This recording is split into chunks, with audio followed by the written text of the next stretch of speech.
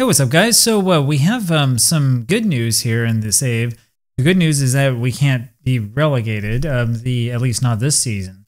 Uh, the not so good news is that we're not part of the champion group. So let me go ahead and show you kind of what's going on.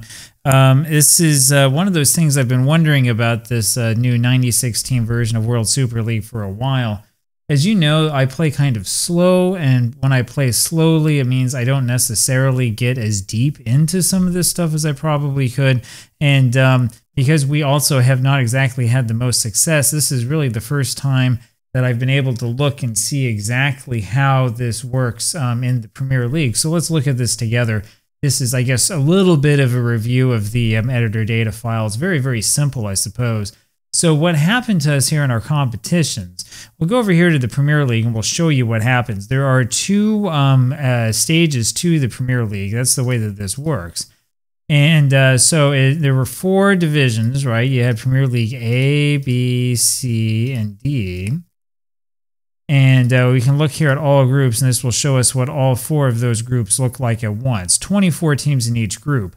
Now, you'll notice that there are the first four teams that are highlighted. Those are not teams that are playing in Europe. Those are teams that are playing in the sort of champion round uh, that comes afterwards.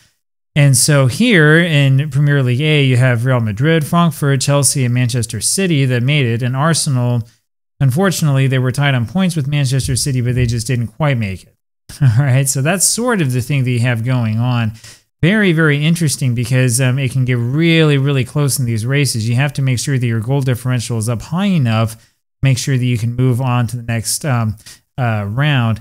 At Feyenoord, um, kind of a surprising team to make it up to that uh, next round, um, and uh, probably a couple others too. If we uh, look around a little bit, that are surprising. We wound up finishing just right smack dab in the middle, 14th place for Augsburg, and uh, that's pretty good for us. So that gives you an idea of what happens. Now, what happens here is it splits into um, a couple of different uh, groups. So you have championship group and then upper table after that. Interesting stuff, isn't it? So you have 16 teams in the championship group, which means it's the top four from each one of those divisions, right? And this is where the champion is crowned. So the team with the most points at the end of the season will win.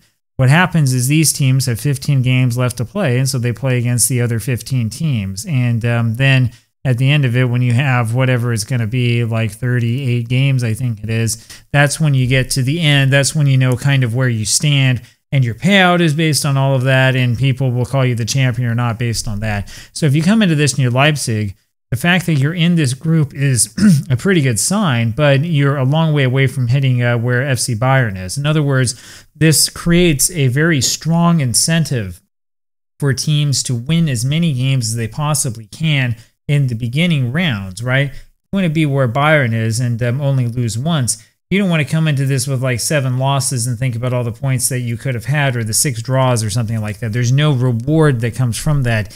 You just need to get the points. That's what makes this very difficult because you're against very good group, very good teams.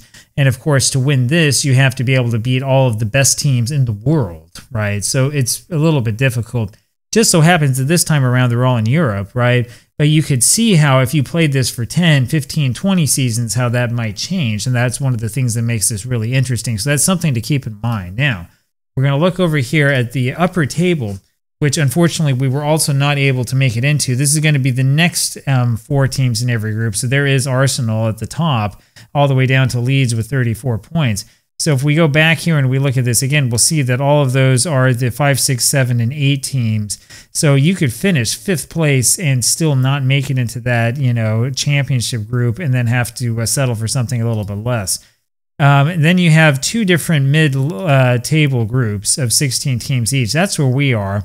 We're in mid-table group B on 30 points. Remember, there was there was one team with what was it like 33 or 34 points that was in the upper table group. We just missed out on that. But we're happy to be here because this means that we're not going to be relegated. You cannot be relegated um, uh, from this point, which is an excellent thing. That means that we have football in the Premier League again next season, which means we'll be able to hold on to our stars.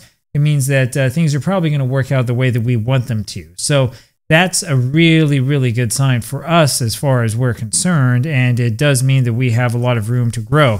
Now, we have a lot of interesting teams in this group with us, including Celtic, who we're going to play tomorrow, and including the likes of PSG and um, uh, Leverkusen, Nottingham Forest, and a couple of other teams that are well known, Köln, and, and so on and so forth. Not necessarily the biggest teams in the world, but yeah, PSG this is a, good example of like what can happen to you, right? Because um, when you take a look at uh, sort of how PSG has played, I mean, you can see a whole bunch of these really, really close games, and then okay, they lost to City at home for nothing, right? That was probably where the inquest came in. The problem that PSG has had is that PSG um, uh, sacked their manager, and uh, you can kind of tell where that happened because then they're losing to Stuttgart, Arsenal, Torino, draw with Monaco lose to Arsenal in the uh, Super League Cup, uh, lose to Porto, and then lose to Milan in the uh, Champions League. Um, and uh, you can see this awful, awful run of form that they've had where they've lost all these matches by one point is because they have no manager.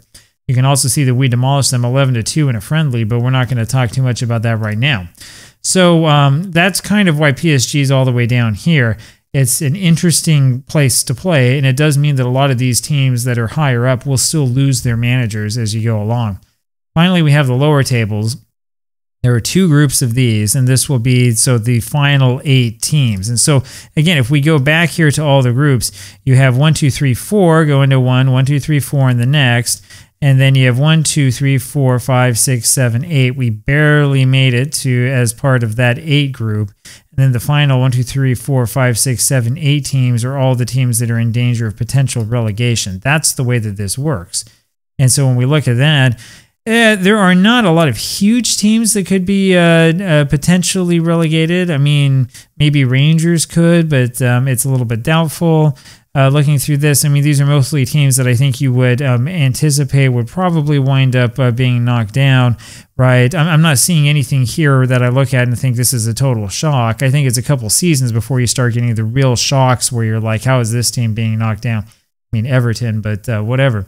So um, uh, that's kind of the way that this works here. It's pretty interesting. What happens here, of course, is these teams will only play against the teams in their group, and then one, two, three, four, five, six, seven, eight. It's the bottom eight teams in every group that are relegated.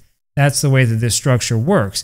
So we'll go take a look down here at uh, this championship level, and we'll see what happens with the league structure. Well, you can see here there's a whole ton of uh, these uh, leagues at this level. One, two, three, four, five, six, seven, eight. There are eight of them. Remember, there are 16 slots, and what that means is that two teams are promoted.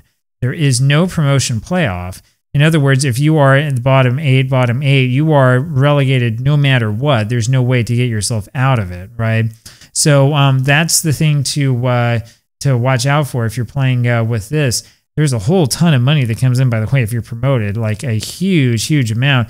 Meanwhile, in the uh, Premier League, uh, if you are uh, part of the lower table and you are relegated, you do have a parachute, but it's not quite as much as the prize money you get for moving up. So there's not a whole bunch of uh, sort of monetary incentive there for you. You can see here the prize money listed up here in the upper levels is um, not completely listed out. We'd have to probably go into the editor data file and uh, sort of mess around with that to figure out what's going on. Anyway, so there you go. That's the way that it's set up, at least for the FM23 version of World Super League. Um, I always find this sort of thing um, in, interesting to look at because it's interesting to see what different people come up with uh, for their um, projects and um, the sort of uh, ideas that they come up with in the end. Um, I think there are a lot of people out there who might be interested in creating their own data files. And uh, if you are, you really need to look into this sort of thing. And uh, you might be able to come up with some ideas for things that you could do with your own editor data file.